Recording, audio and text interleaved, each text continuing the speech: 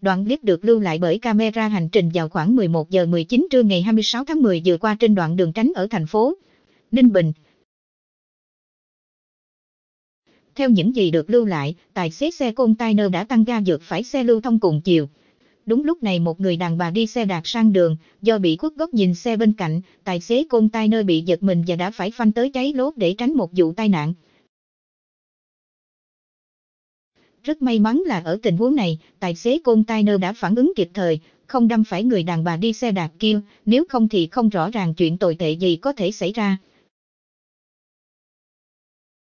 Tài xế container phanh cháy lốt tránh một đàn bà đi xe đạp sang đường,